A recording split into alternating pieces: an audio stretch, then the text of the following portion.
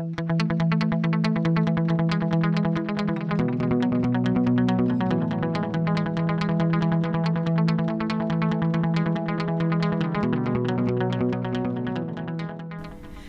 to Cisco. My name is Jane. How can I help you? I'm trying to open a case on the web and I'm getting some silly error message. Okay, what is the error message that you're getting? I don't know. It's an orange box. And it's got something about my profile not being associated or something. I don't remember. Ah, so the orange box strikes again. I think your contract isn't on your profile. What contract? Let's back up a bit. Can you give me your Cisco.com user ID and the serial number of the product you want to open a case on? My user ID is Billy Goat and the serial number is Mickey Mouse. I've just checked this serial number and it's covered under a service contract. It's currently not on your profile, which is why you've been struck by the orange box. This all sounds like mumbo jumbo to me. Why do I need a contract on my profile? Think of it like your contract is your bank account. So when you go to the bank, you will need proof of ID, which is your Cisco.com user ID.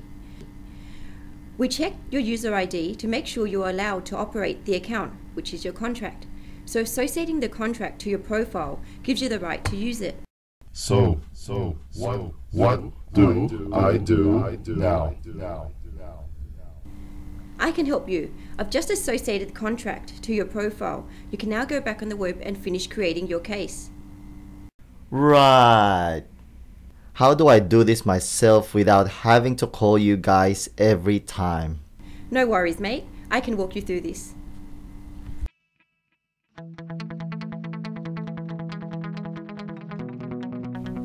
Hi there, and today I'm going to show you how to add a contract or associate a contract to your profile. So first of all, log into cisco.com, that's www.cisco.com, and that'll take you to our homepage right here. Now in the top right hand corner of this page, go ahead and click on Account. Now in the next step, you'll see the word Profile Manager on the left hand side of this page. I want you to click on Go Now right at the bottom there. And at this point, you'll be asked to log in with your user ID and your password. As you already know, my user ID is Billy underscore goat. And my password is, well, it's confidential. So put the password in and log in, and that'll take you into your account. There you go. Now across the top of the Profile Manager, you'll see five options. Contact, Organization, Additional Access, Preferences, and Password Management. Now to add a contract to your profile, you want to click on Additional Access.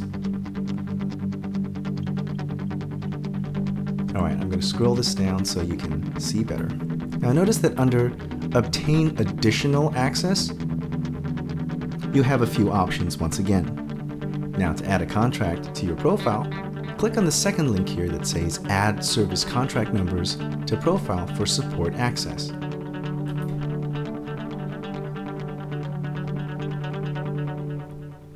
Now please read through this important information and to add the contract into your profile, simply punch the contract number into this field right here and click on Submit right at the bottom and you've just kickstarted the contract association process.